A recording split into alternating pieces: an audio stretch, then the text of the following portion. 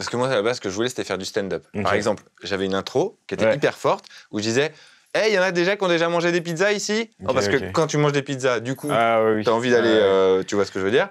Et donc, les gens, du coup, ils comprennent le truc.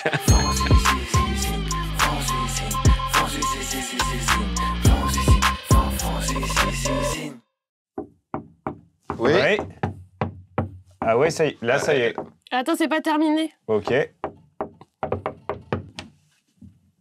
Oh. Mais c'est Adèle Castillon C'est ou je rêve Ah, c'est énorme que tu dis ça parce que je viens de sortir un single qui s'appelle Rêve. Mais non. Bah si, Mais c'était une semaine, non, en plus c'était à peu près, ouais. Sur semaine. toutes les plateformes, non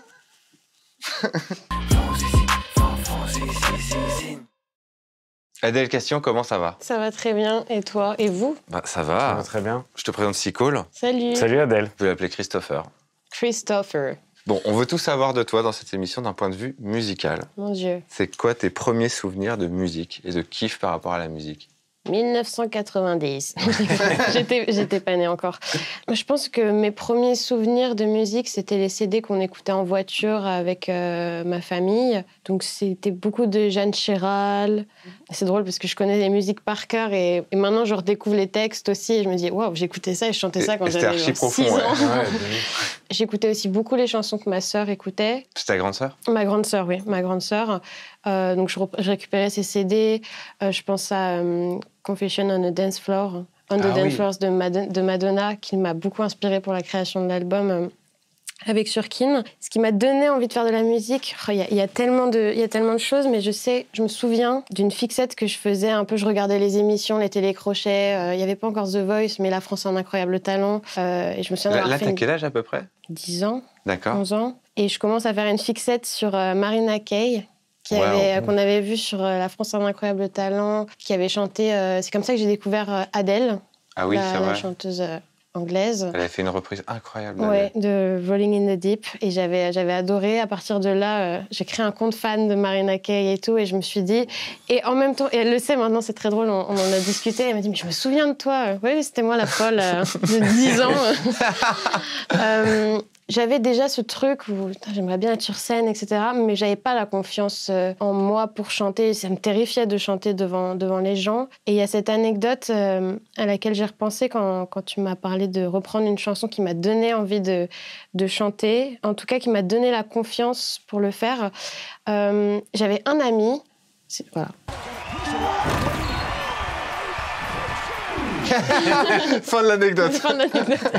non, j'avais un ami, Elliot, avec qui j'arrivais à chanter, mais vraiment à me lâcher. Et il jouait du piano et tout. C'était c'était hyper sympa. On passait des journées à, à chanter. À la fin, on n'en pouvait plus. Quoi, mais C'était ton premier groupe, quoi, en gros. Ouais, c'est ça, c'était un peu mon, mon premier duo. Et un jour, j'ai j'ai repris devant lui euh, euh, Riptide euh, de Vance Joy. Et en fait, quelques jours plus tard, il m'a dit Tu sais, je te l'ai pas dit, mais euh, je t'ai enregistré avec mon iPhone et euh, je l'écoute et je le fais écouter, à, Mais je le non. fais écouter à une pote qui trouve que tu chantes super bien. Et là, c'est la première fois que je me suis dit euh, En fait, je sais peut-être chanter. Et ça m'a donné la confiance pour le faire. Donc. euh, donc voilà, cette chanson, elle m'a vraiment marquée pour ça. Et, et par rapport à ce qu'écoutait ta sœur, par rapport à ce qu'écoutaient tes parents, etc., toi, t'as jamais eu cette période où t'as essayé de- d'écouter ton truc et de trouver ton univers à toi, ou c'était en fait une suite logique des choses? Je pense qu'il y a un petit peu des deux. Après, mon premier gros coup de cœur, qui a été vraiment personnel, ça arrivait avec la série Anna Montana. Ouais. Euh, là, ça a été, euh, c'était fou. J'ai acheté, euh, j'avais le DVD de sa, de sa tournée Anna Montana. Je pense que c'était son premier ou deuxième album. Et puis là, j'apprenais les chorégraphies et je passais, je passais mon temps. euh, je le connaissais par cœur, quoi. Et en même temps, je pouvais écouter l'album de Gotham Project, qui était. euh, Ouais, ouais, voilà, d'accord. c'était, c'était vraiment, je prends tout, quoi, tout ce qu'il y a et tout ce qui me plaît. euh. Et donc, au milieu de tout ça, il y a Vance Joy, et donc il y a Riptide, Voilà. et c'est le morceau qui te donne envie de faire de la musique, en fait. Voilà, exactement. Et ben écoute, moi je te propose, ça fait longtemps que tu l'as pas chanté ou pas Ça fait longtemps. Depuis Elliot, tu l'as rechanté Euh, je l'ai réécouté en tout cas avant de venir ici. Bon, désolé Elliot, on te vole Adèle aujourd'hui, et on va se faire donc Riptide de Joy. Avec plaisir. C'est parti. I was scared of tennis in the dark. I was scared of pretty girls and starting conversations. Oh, my friends are turning green. You're the magician assistant in the dream. Ah, ooh,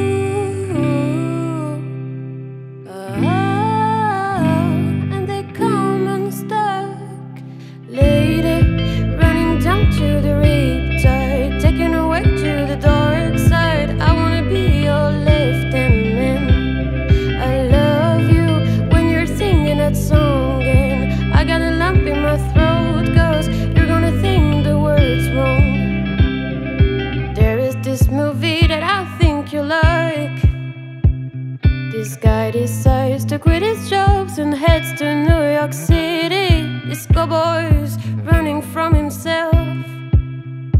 And she's been living on the higher shelf.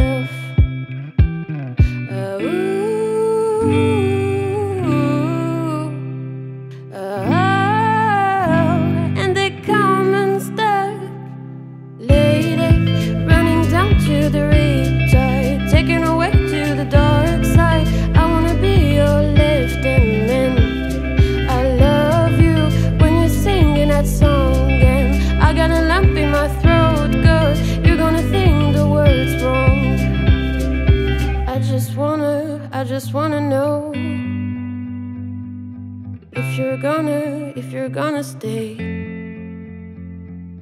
I just gotta, I just gotta know. I can have it, I can have it any other way. I swear shit is starting for the screen. Closet sings to Michelle Pfeiffer that you've ever seen. No lady running down to the riptide,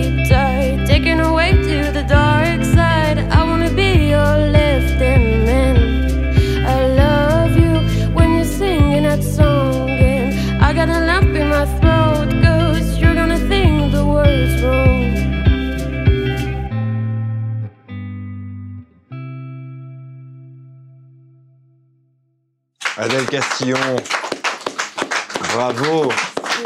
On peut remercier Elliot, qui On en fait finalement, euh, grâce à lui, bah, t'as pris confiance. Ouais, et pas que sur le plan de la musique aussi. C'est un une des premières personnes à m'avoir dit tu devrais ouvrir une chaîne YouTube parce que tu fais rire les gens. Donc, euh, ouais, il a joué un grand rôle pour moi euh, dans mon développement artistique. euh, ça a été vraiment une petite lumière qui s'est qui s'est allumée en moi aussi, quoi. Parce qu'à ce moment-là, euh, tu voulais faire de la musique dans ta vie ou tu te disais que tu voulais faire aussi de la comédie? Ma première impulsion quand je suis petite, euh, c'est je veux faire de la musique parce que je veux être Anna Montana. D'accord. Vraiment. Je, je vois cette élève qui est euh, dans, dans son lycée, qui est au collège et en même temps qui a sa double vie et je, je- je me projette, je veux être elle. Et après, je découvre euh, les réseaux sociaux, euh, YouTube. Et moi, j'ai toujours eu un truc. J'avais envie d'être sur scène, j'avais envie qu'on m'écoute, j'avais envie. euh, donc j'avais envie de plein de choses. J'ai toujours envie de plein de choses. Le cinéma, euh, la musique et faire rire les gens. J'ai fait du théâtre. Il y a eu un moment de ma vie où je voulais faire du stand-up, par exemple. Je D'accord. reprenais des sketchs de Gad Elmaleh sur scène. je me souviens encore, sketch sur l'avion. C'était un. Ah oui, d'accord, Ouais, tu- ouais, tu- c'était un tu- sketch que j'avais Tu faisais des euh, reprises, voilà. mais de... Comme lui. D'accord, oui. Et donc, euh, tu, tu te lances sur YouTube. Et moi, je te découvre comme ça. On est d'accord, tu donnais assez peu d'informations sur le fait que tu faisais de la musique à cette époque-là? Parce que j'en faisais peu. En tout cas, c'était Ouais. pas. euh, Une fois que je suis lancée sur YouTube et que ça commence à marcher pour moi, en fait, je me projette pas. Je suis vraiment dans l'instant présent. Je sais que le cinéma m'attire, la comédie m'attire, et puis voilà, j'ai l'impression d'avoir trouvé mon, mon environnement. Et c'est vraiment la rencontre avec Mathieu qui va, qui va tout changer là-dessus, parce que euh, je chantais, mais pour moi, euh, avec vraiment des proches, des amis. Et c'est quand je rencontre Mathieu de, de Vidéo Club que, que je me réconcilie avec la musique et que je veux, que je, je veux y aller. Quoi. On veut faire des reprises des, des Stray Cats. euh, et, euh, et donc je me dis, ah ouais, je vais enfin vivre mon rêve du, du- de la lycéenne qui veut faire euh, des concerts dans les bars et tout. Je voulais le faire. Et puis au final, on, on fait cette première chanson, Amour Plastique, qui, qui nous fait décoller. Quoi. Donc, Et à ce moment-là, tu es au lycée encore quand vous Oui. faites Amour Plastique? Ouais, je suis en. On le fait, je crois, à la fin de l'année de ma première. Et quand on la sort, c'est la rentrée de la terminale pour moi. D'accord. Et, euh, et là, c'est un gros, gros choc parce que. Ah, ça a euh, dû tout changer, quoi. Parce que, ouais, c'est- l'année du bac. Déjà, t'as cette pression, tu sais qu'il y a le bac. Et puis, en fait, je me retrouve, euh, je crois, une semaine après la rentrée scolaire ou deux semaines euh, à Paris, parce que nous, à à la base, on vient de Nantes. Et je me retrouve à Paris à faire toutes les maisons de disques avec des gens qui me disent c'est génial ce que vous faites, vous avez un potentiel de dingue. Et euh, on n'a fait qu'une seule chanson. Quoi. Enfin, on avait deux autres chansons dans notre répertoire, Ouais. mais on a fait un peu le truc à l'envers. Normalement, tu commences dans la musique, tu galères. Ouais. Et là, non, mais c'est vrai, et c'est Oui, hyper euh, formateur, parce qu'on s'est retrouvé à faire un premier concert euh, euh, dans un bar avec 300 personnes qui attendaient dehors, et le bar bondé. euh, Ouais, parce que énorme succès, hein, Amour Plastique. hein. énorme Oui. succès et, euh, et en même temps ça m'a mis une grosse pression parce que d'un coup faut, faut savoir chanter c'est c'est tellement différent de chanter euh, Ah oui. en concert et de chanter dans son salon que, euh, que ouais ça a été, ça a été un, un gros choc et, euh, et donc très vite il a fallu la mettre la barre très haute pardon. Et justement, alors c'est hyper bizarre parce que normalement, on commence par faire des concerts avec des potes Bah euh, devant trois personnes. Toi, tu commences par des petits concerts où c'est la demande est énorme. Mm. Est-ce que euh, c'est excitant ou est-ce que c'est extrêmement pressurisant? Je pense que c'est un mélange des deux, c'est hyper excitant et ça me donne euh, la niaque, quoi, l'envie d'y aller.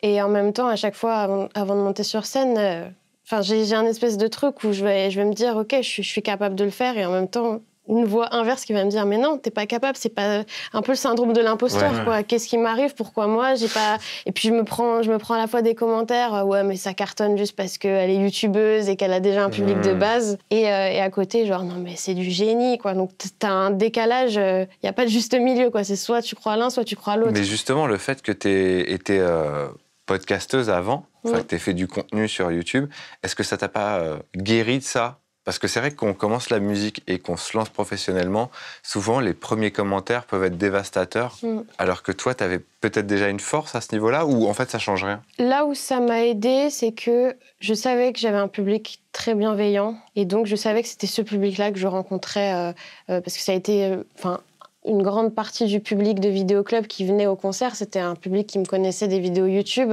et qui a grandi aussi avec moi.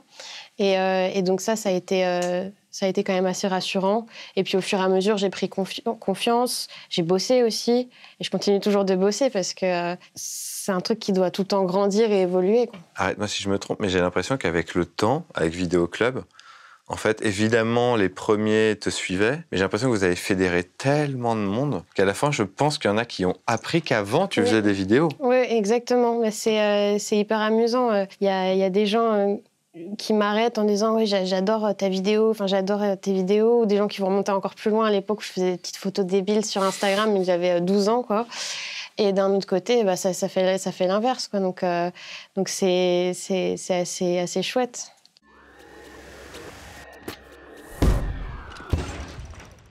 Est-ce qu'il y aurait, dans, dans, dans, tout ton, dans toute ta discographie, finalement, dans tous ces projets que tu as eus, un titre qui, pas compte plus que les autres, mais disons, a, a changé quelque chose chez toi. Euh, bon, bah, évidemment, j'ai parlé d'amour plastique parce que ça a été le, le- le déclic, quoi, le moment où, tout, où, où tout, tout se passe. Euh, mais je pense directement à mon premier single solo, Impala, euh, qui a été hyper important parce qu'il marque le début d'une nouvelle période pour moi, d'une nouvelle aventure, celle de, de mon indépendance aussi, et puis, euh, et puis qui a connu quand même un succès auquel je m'attendais pas, qui m'a amené sur les marches de Cannes au Energy Music Awards. Ça a été quand même un, ouais, un, un sacré moment pour moi. C'est Ah, vraiment un morceau porte-bonheur un peu, quoi. Ouais, complètement. Puis c'est un des premiers morceaux aussi que j'ai fait qui est, qui, qui est plus positif, on va dire, où il y a moins, il y a, il y a cette mélancolie toujours, mais, mais, euh, mais voilà, ce truc de tourner la page aussi, passer à autre chose, euh, Ok. voilà quoi. Donc, euh, moi, je partirais bien sur un petit remix. Eh ben, let's go. hein. Ça te Faisons, dit faisons ce remix. On fait un ce petit remix Ah ouais, Je suis un méga ringard. hein. non, c'est moi qui reprends.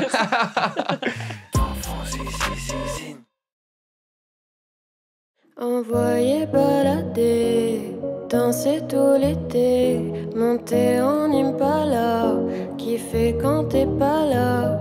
Envoyer balader, danser tout l'été, monter en impala, kiffer quand t'es pas là. Si les gens sont tristes,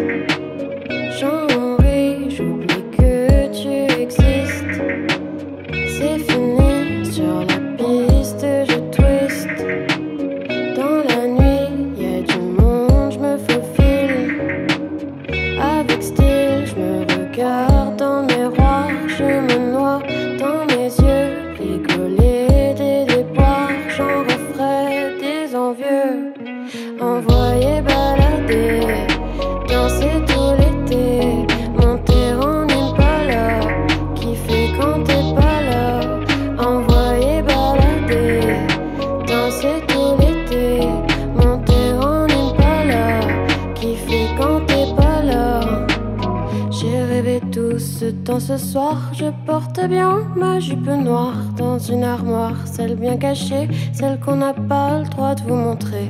Regardez-moi et poussez-vous. Je veux danser, plus rien à foutre. Non, je n'ai plus envie de toi, tu les veux toutes. Envoyer balader,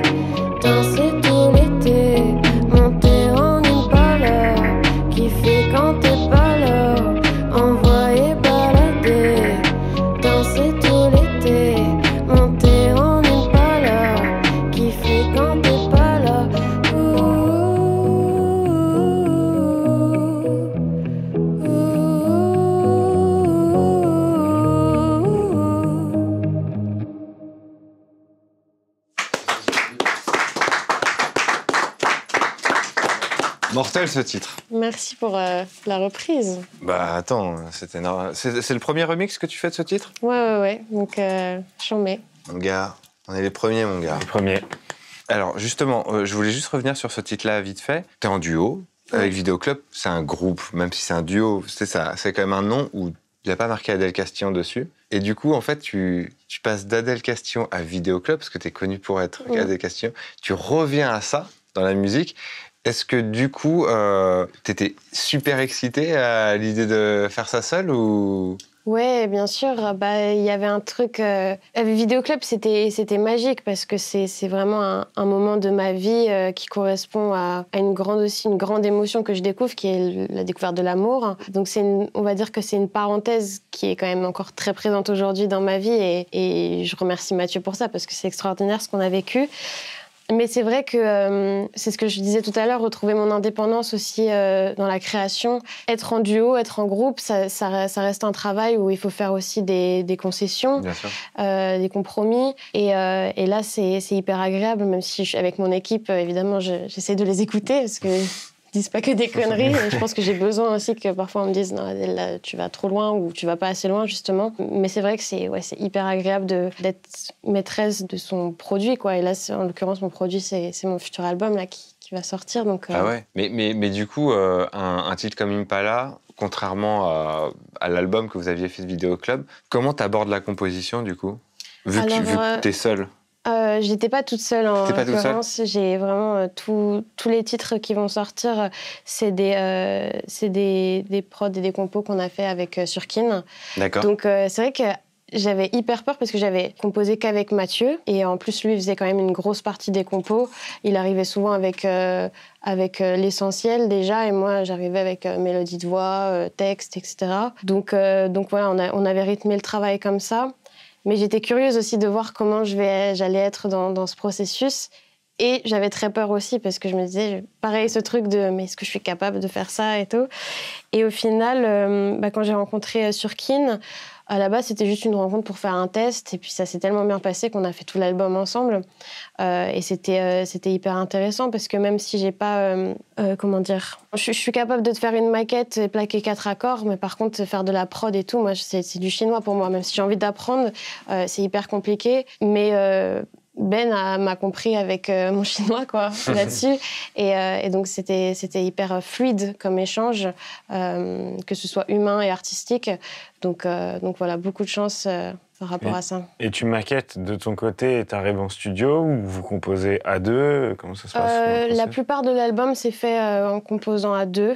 Euh, Au mais studio. ça, ça m'arrivait parfois d'avoir des flashs. Je, sais pas, je, me, je me souviens d'une chanson en particulier où j'étais en train de monter des escaliers et toute la mélo, toute la, tout le gimmick est arrivé. Et je me suis, je, je pense que je l'ai encore dans mon téléphone, dans, mes, dans mon dictaphone, mes notes vocales. Et, euh, et je, je suis dedans, je suis essoufflée, quoi, parce que je suis dans des essais genre interminables. Et le lendemain, je suis allée en studio et, euh, et on l'a fait, quoi. Donc euh, ça, c'est vraiment les mystères de la création. Ouais. C'est quand, quand ça devient comme ça. Il y a tellement de moments où j'ai regretté ne pas m'être enregistré, Ouais. genre avant d'aller, avant de m'endormir. Non, mais je m'en souviendrai demain. Non. Non, Ça, ça ça, marche c'est en juste, fait, euh, ouais. Adèle, t'as juste envie de dormir et t'as la flemme. Donc euh, voilà, maintenant je me force à noter les choses. euh, Je le fais pas encore tout le temps, mais il faut que je le fasse plus. Nous, on avait vu un truc hyper intéressant avec euh, Chris. C'était un reportage sur les Beatles. Et il disait, vu qu'il n'y avait pas d'enregistreur à l'époque du tout, Ouais. qu'en fait, si leurs morceaux sont aussi efficaces, c'est parce qu'ils les composaient de manière le plus simple et de la manière où ça te reste dans la tête. Hmm. Donc en fait, si les morceaux sont les plus efficaces des Beatles ou de plein de gens de cette époque-là, c'est parce que pour les retenir, ils devaient se... ça devait pas être compliqué, ça devait être super Ouais, efficace. ouf, hein. La contrainte, ouais, permettait de. Ouais. C'est ouf. Ouais, incroyable. Qu'est-ce que t'écoutes? On parlait des Beatles, mais toi, t'écoutes quoi aujourd'hui? En ce moment, ouais, j'écoute beaucoup de rap en ce moment. Je pense directement à This Is parce que euh, ouais, son album euh, qui s'appelle L'amour, hein, euh, sorti en 2022, il a marqué là, une période très importante de ma vie, euh, surtout en ce début d'année. Et ouais, j'ai- je l'ai je l'ai saigné, saigné, saigné, saigné. Et euh, en particulier une chanson qui s'appelle Sublime. Et si on faisait une sublime version de Sublime Wow. Sublime version de Sublime, alors là, je vais pas m'aventurer dans... c'est- C'est très ambitieux. Mais, ambitieux. euh, mais je suis très contente de reprendre cette chanson. Ouais. Eh ben écoute, essayons de faire ça. On avait dit le pire, mais aussi le meilleur. Maintenant tu soupires, bien moins de meilleur. Toutes nos habitudes, ces mouvements d'humeur, tous ces petits calculs, toutes ces petites peurs, ces coups dans le dos, ces choses cachées. Du coup, c'est moins beau et t'es parti fâché parce que j'ai changé. Tu veux me punir, je vais pas me venger. Je veux juste me souvenir qu'on était sublime sublime. Pauvre et fort, on était sublime. Je t'en supplie, je t'en supplie. Retiens le beau, le vrai, le sublime.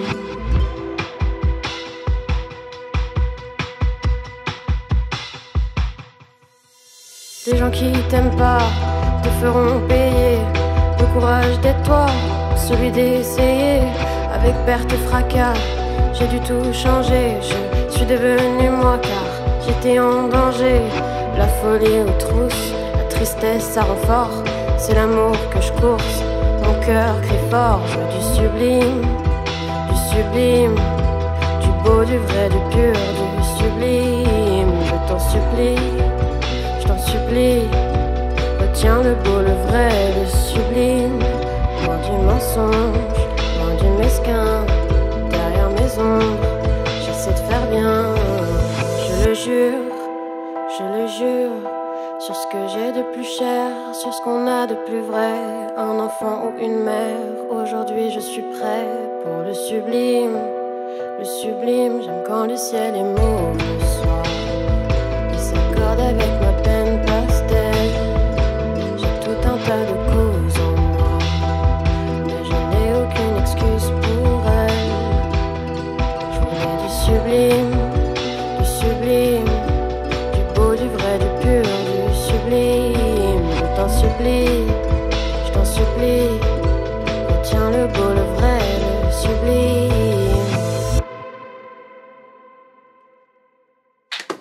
J'applaudis aussi parce que cette chanson.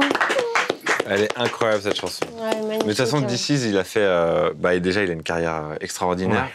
Mais pareil, il a plein de périodes dans sa propre carrière. Ouais, complètement. Et on son- retrouve beaucoup en ça, même si on n'a pas le même âge. Ouais. Euh, c'est c'est assez fou, quoi. Il a fait du cinéma, écrit des livres, euh, plein de chansons de registres différents. Et puis, je me reconnais beaucoup dans ses textes et tout. là, J'adore. Bon, on lui dédicace ce remix. J'espère que ça lui plaira. Écoute, en tout cas, nous, ça nous a plu et toute cette émission nous plaît. Du coup, on t'offre la fin de l'émission. Fais ce que tu veux. Ah, c'est mon moment préféré, la carte blanche. La carte blanche. Et en même temps, c'est le moment que je redoute le plus parce que quand on me demande de- d'avoir le choix, c'est Ouais, difficile pour moi. Mais, euh, mais c'est vrai qu'il y a cette chanson que j'écoute depuis, euh, je pense que ça doit bien faire 10 ans, qui est sortie en 62, si je dis pas de bêtises, euh, de Skeeter Davis, et qu'elle a, qu'elle a écrite euh, au moment où son père est mort. Et moi, quand je l'ai découverte, alors elle s'appelle The End of the World. Et je l'adore parce que elle a un truc dans lequel je me reconnais, cette chanson. C'est cette naïveté de chanter des choses tristes, qu'il y avait pas mal dans Vidéo Club et qu'il y a aussi dans, mon album. Et, c'est tellement pur comment elle le chante et tout. Et bref, c'est une chanson que j'ai découverte il y a sacrément longtemps grâce à mon meilleur ami et que j'ai retrouvée plus tard, que j'ai redécouvert. Ça y est, c'est tellement un plaisir de redécouvrir des chansons qu'on a adorées. Je l'ai, je l'ai redécouverte parce qu'elle est passée dans une série que j'ai saignée qui s'appelle euh, The End of the Fucking World. Et je l'ai adorée. Et à la fin, je, je, vous inquiétez pas, je spoil rien, mais à la fin de la série, j'ai déjà j'étais hyper triste parce que je voyais que ça passait et voilà, que j'arrivais à la fin de la série et il y a cette chanson. Et là, je me dis non, ils ont pas fait ça, ils ont mis ma chanson. c'est ce moment où tu te dis mais quoi? Mais ils, ils ont, ils ont ma tête quoi.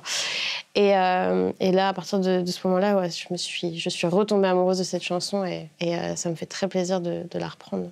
Bah écoute, pour les gens qui connaîtraient pas cette chanson, en tout cas, euh, on va essayer d'être à la hauteur. Ah ouais, j'espère que, j'espère que vous allez la découvrir comme moi.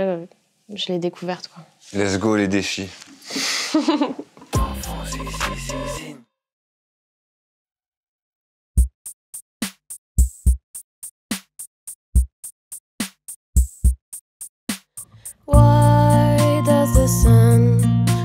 go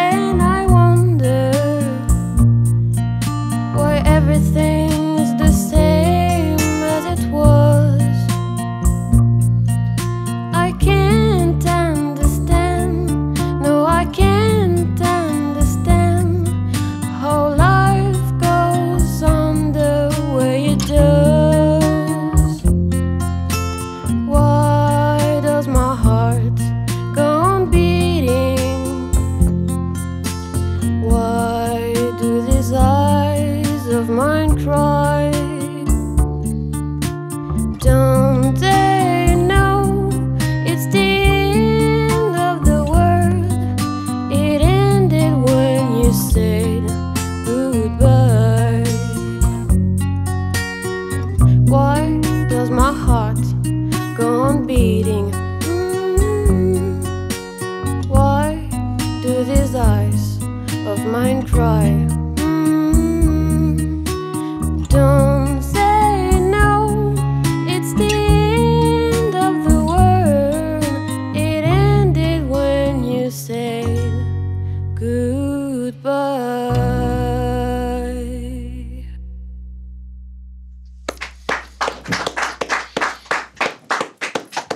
Si un jour c'était la fin du monde, je voudrais que ce soit toi qui la chante. Oh, ça me fait plaisir.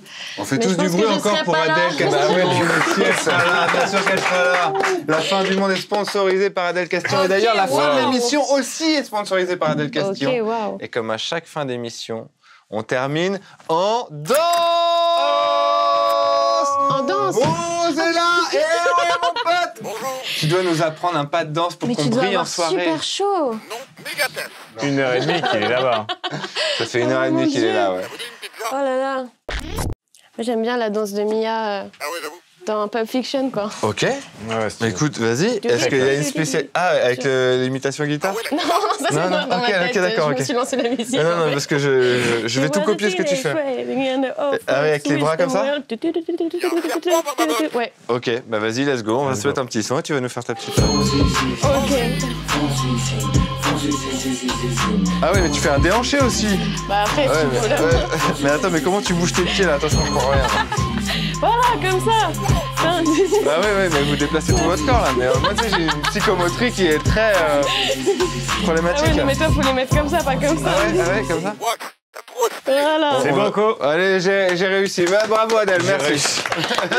oui, t'as réussi, Je bravo. confirme, c'est mon Mais rôle, même moi, c'est horrible, hein. mais c'est pas grave. Non, On c'était a- génial. on n'égalera jamais Mia.